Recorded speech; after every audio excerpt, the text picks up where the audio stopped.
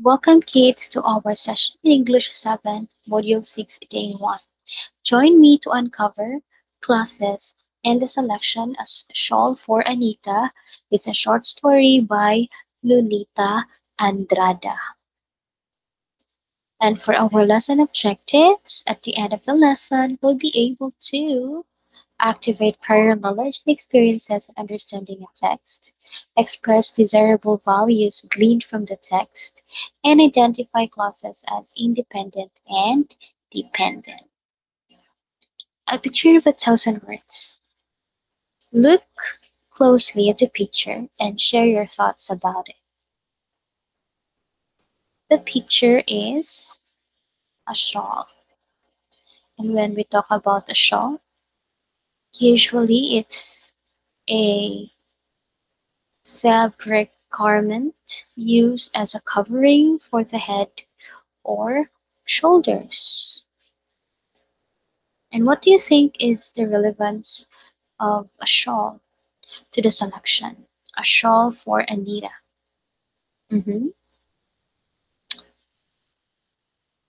As we continue, we'll find it out. Now let's have this one. What's the word? Before we'll read the selection, let's have this difficult words to uncover. So I want you to use the sentence as your hits to find the correct meaning of words. Don't be so callous that you haven't noticed what is happening around you these days. The word callous defines as not feeling or showing any concern about the problems of others. Brilliant. Life was hard then, but Mother eked out a living to provide us with our needs. The word it defines as to get through with great difficulty. I'm done with my chores, so I can now indulge myself to a movie marathon. The word indulge defines as to do something as a special pleasure. Can you stop following me? You truly irk me. The word irk defines as to bother or annoy. Her knuckles look swollen after a whole day of writing. The word knuckles defines as any one of the thick bony parts of the fingers. Grandma's body has already become frail, so she showed up working in the house. The word frail defines as having less than normal amount of strength. She was knitting a shawl from her mother. The word knitting defines as to make a piece of clothing from yarn or thread. Observe how her deft hands can knit his head in just one hour. The word deft defines as skillful and clever. I envy her for getting easily what she wants. The word envy defines as feeling of wanting to have what someone else has. I need to go out to the garden for I'm cooped up here inside the house. The word cooped defines as to confine in a restricted area. A Shawl for Anita, it's a short story by Lolita Andrada. Let me read to you the story. Okay, don't forget to note some details of it. And of course, don't forget about those words, the definition, and how it is being used in the sentence. My mother brought us up single-handedly. It was a Herculean task for a woman so frail, dealing with the three adolescent children. But she managed. She never finished high school, but her deft hands had skillfully egged out a living for the four of us. She was good at knitting. The tided us over until the eldest got a diploma of teaching. Then she put up a sari store to send the other children to college. Mother wanted us all to start a college degree, and she had sacrificed much to see us through. Mother had a soft heart, especially for Anita. Anita was the youngest, and I, being the middle child, had always been with her. She was sickly, and mother willingly indulged her. My sister's whimpers never irked her. She was ever so gentle with her when I, impatient and jealous. I never understood my mother. My mother, who had always been so a frail woman, was much thinner now. Anita, who was married by now, had never stopped being pampered. Her lack of concern for her mother's failing health was getting on my nerves. I felt like shouting at her, calling her names, and I heard her ask mother to knit a shawl for her. Mother could hardly refuse, but I knew that the task was just too much for her. Her fingers had lost their flexibility. Rheumatic pain told in her knuckles that felt a million pins pricking. My heart went out to her every time I saw her painfully knitting needles into the yarn. The rest of us did not want to see Mother lift a finger. She was too old to work, and, she, and we wanted to save her the burden of doing even the lightest household chores.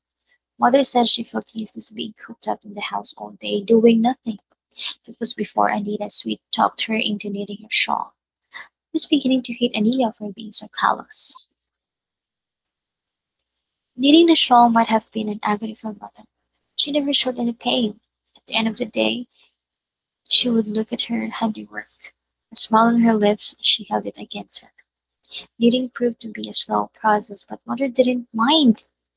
I did, and when Anita showed up one day to visit Mother, I scolded her for being so thoughtless.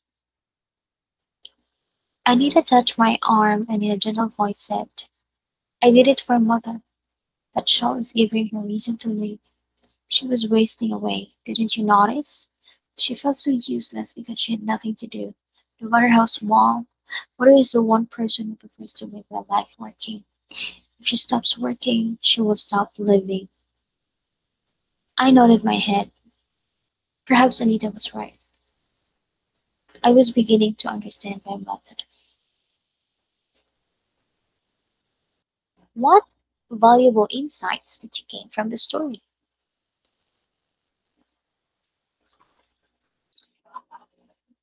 The selection reflected worthwhile Filipino values such as hard work, sacrifice, perseverance, and love of family.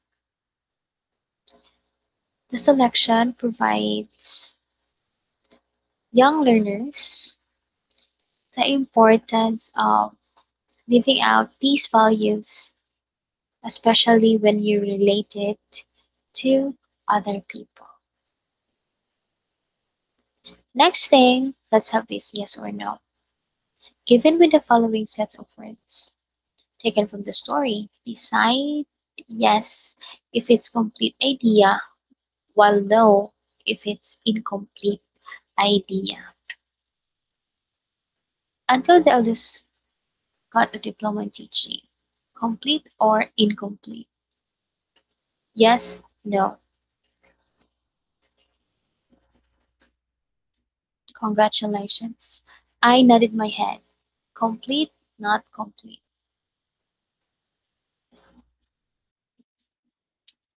Who had always been a frail woman.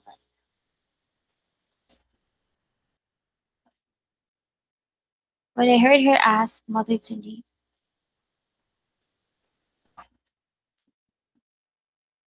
Okay, as you continue to improve your skills in reading and writing, you will need to refresh your knowledge about clauses. Clauses is a group of words with at least a subject and a verb. It is a sentence in its simplest form. The subject of a clause can be mentioned or hidden, but the verb must be apparent or distinguishable. Clauses can be independent or dependent. An independent or main clause can stand by itself. Anita was the youngest. I nodded my head. I was beginning to understand my mother. That's the example. A dependent or subordinate clause also has a subject and a verb, but it cannot stand by itself because it starts with a subordinate word. Until the eldest got a diploma in teaching, the subordinate word is until. As he held it against her, the subordinate is us because she had nothing to do because is a subordinate word. To complete the idea of a dependent clause, a main clause must be added. Her job tided us over until the eldest got a diploma in teaching. Her job tided us over, that's the main clause, while dependent clause until the eldest got a diploma in teaching because of the presence of subordinate word until. She felt so useless, that's the main clause, because she had nothing to do. Because she had nothing to do, that's dependent clause, which started with the word because, then that's a subordinate word. When we talk about subordinators are like the subordinating conjunctions. After, although, as, if, because, before, provided that, since, unless, until, then, as long as, as soon as, once, by the time, however, and many more examples. We can also use coordinating conjunctions to add to our dependent clause, such as for, and, nor, but, or, yet, and so are used to introduce an independent clause. And we can also use relative pronouns and compound relative pronouns used to introduce a dependent clause. These are who, whom, whose, which, and that. And compound relative pronouns are whoever, whomever, whichever, whatever, whatever, and the like. Relative adverbs such as when, where, and how are also used to introduce independent clauses. Let's try. Don't forget to answer in all capital letters. Identify the independent clause. While you were sleeping, your mother stayed awake. Dependent clause. You sleeping. Congratulations! Identify the independent clause.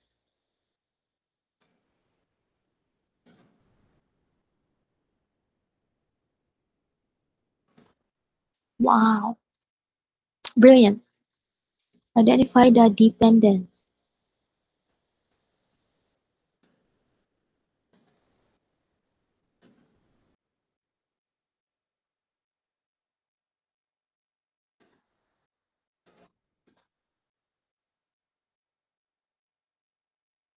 Congratulations! Identify the independent. She kept on working for her children.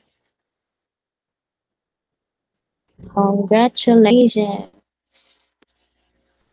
Now to sum it to sum it up, reading selection reflected again worthwhile Filipino values, hard work, sacrifice, perseverance, love of family, providing young learners the importance of living out these values in relating with others.